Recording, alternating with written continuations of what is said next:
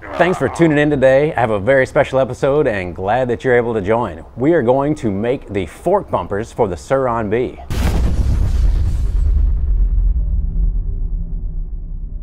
Today's episode is a very special one and one that I really like. We're going to be making the fork bumpers for the Sur-Ron B. Now I just threw on a new set of forks and it didn't come with bumpers and sometimes if you contact the fork with the frame then it'll destroy either the fork or the frame. And so what I need to do is actually make a part to fix that. Now I could just throw some hair ties or some rubber bands on the frame or something like that, or maybe even hop online. I'm sure I could buy some somewhere.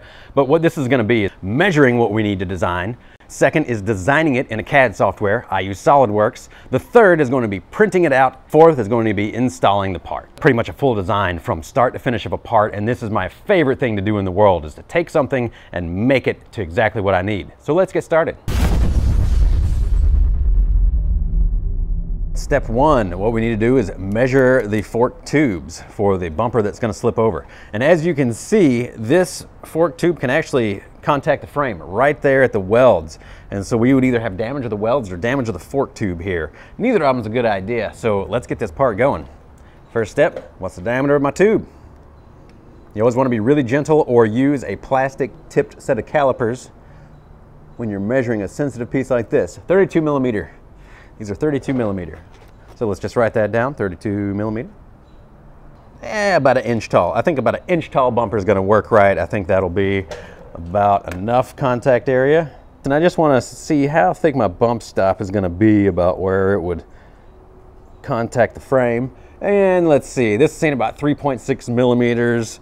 I may wanna bump that up to about five, just so we have enough cushion. So five millimeter thick. Right, so that's all the measurements that we need. And as you can see, I wrote down a couple of them right there, just some of the basic ones that I will need to make the design in CAD. Now I'm gonna open up my SolidWorks software and get to it.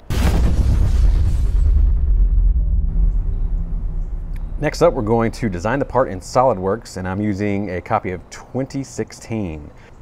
All right, so we're gonna start, uh, I'm gonna do this kind of a simple way. Instead of doing a round revolved extrusion, I'm just gonna do the ID of this. So this is gonna be a 32 millimeter ID. I'm actually gonna undersize this inside by just a little bit.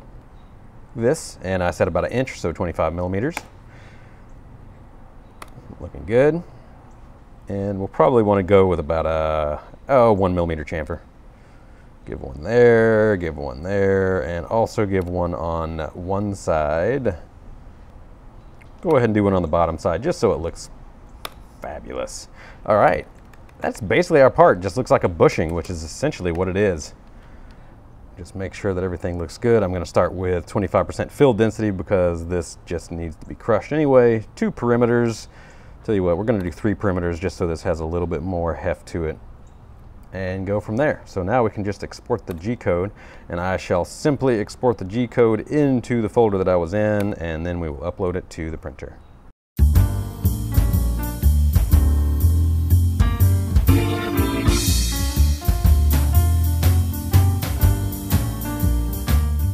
All right, so this is the moment of truth. We have printed this first bushing here and we'll see if it actually slides on. So if y'all remember, I undersized it by a millimeter. This is printed out of a, a urethane. Ah, she's coming apart. And that is sliding on pretty tight. But it looks like I need to adjust my print settings. As you can see, that outer wall just kind of peeled off on me. But I think I know what I need to do. But we do have a nice tight fitment, and that's what we want to see.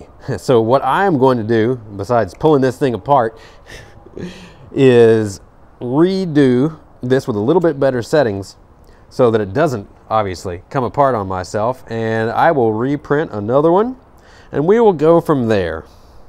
All right, so the piece didn't quite print as I would have liked it to as far as the quality, but we did get to see about the inside diameter being right for the fork. So at least we had one good prototype, or part of it being a good prototype, and what I'll have to do is tweak some print settings so we don't have it coming apart. Uh, let's see here.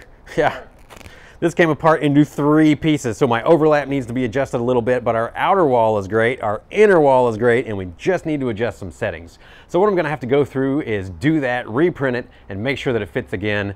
But that's kind of what real life is about sometimes. You wanna make a product, you gotta make a prototype, and sometimes the prototype manufacturing can tell you, hey, there's some problems with your product or with your, your way of manufacturing. So that's just how it works out sometimes. What we're gonna do is a recap video where we do it again and hopefully get it right the second time. So stay tuned for that and appreciate you tuning in today. Hope you liked it as much as I did.